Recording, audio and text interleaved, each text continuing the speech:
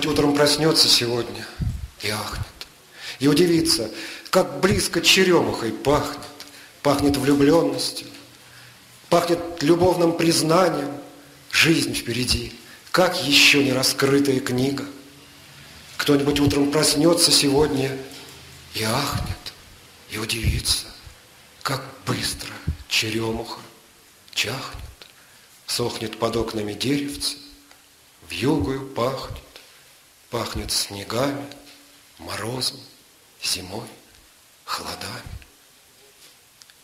Кто-нибудь утром сегодня совсем не проснется, кто-нибудь тихо губами к губам прикоснется и задохнется, как пахнет бинтами и йодом, и стеарином, и свежей доскою сосновой. В утреннем воздухе пахнет бинтами и йодом, и стеарином, и свежей доскою сосновой, пахнет снегами, морозом, зимой, холодами, и ничего не поделать, черемухой пахнет, пахнет черемухой в утреннем воздухе раннем, пахнет влюбленностью, пахнет любовным признанием, что бы там ни было с нами, но снова и снова пахнет черемухой, и ничего не поделать. Я побывавший там, где вы не бывали, я, повидавший то, чего вы не видали, я уже там, стоящий одной ногою, я говорю вам, жизнь все равно прекрасна.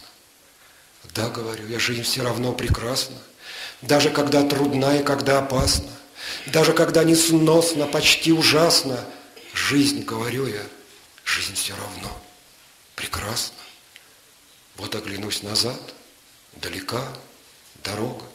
Вот погляжу вперед, впереди немного. Что же там позади? Города и страны. Женщины были, Жанны, Мария, Анны. Дружба была и верность, вражда и злоба. Комья земли стучали о крышку гроба.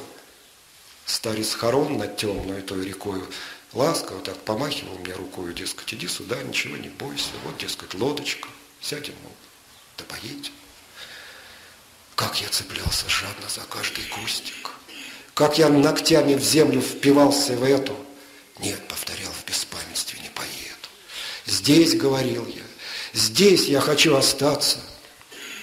Ниточка жизни, шарик непрочно свитый, зыбкий туман надежды, ты мог соблазна, штопанный, перештопанный, мятый, битый, жизнь, говорю я. Жизнь все равно прекрасна.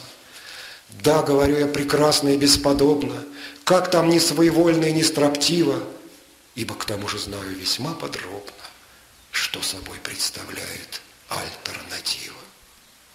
Робкая речь ручья, перезвон капели, мартовской брагой дышат речные броды, лопнула почка, птицы в лесу запели, вечный и мудрый круговорот природы – Небо багрово-красно перед восходом, Лес опустел, морозно в лесу. И ясно. Здравствуй, мой друг воробушек, с Новым годом. Холодно, братец, а все равно прекрасно. И последнее стихотворение Левитанского, я сейчас читаю его, оно очень хорошо подходит для темы нашего разговора, он так называется «Арс поэтика», то есть искусство поэзии. Все слова однажды уже были. Слоем пепла занесло их, слоем пыли замело, и постепенно их забыли. Нам восстановить их предстоит. Наше дело в том и состоит, чтобы восстановить за словом слово и опять расставить по местам, так, как они некогда стояли. Это все равно, как воскрешать смутный след, оставленный в душе нашими младенческими снами. Это все равно, как вспоминать музыку, забытую давно, но когда-то слышанную нами. Вот и смотришь, так или не так. Вспоминаешь, так или не так. Мучаешься, так ли это было. Примеряешь слово? Нет, не так. Начинаешь снова? Нет, не так. Из себя выходишь? нет, не так, Господи, да как же это было? И внезапно вздрогнешь. Было так. И внезапно вспомнишь, вот как было.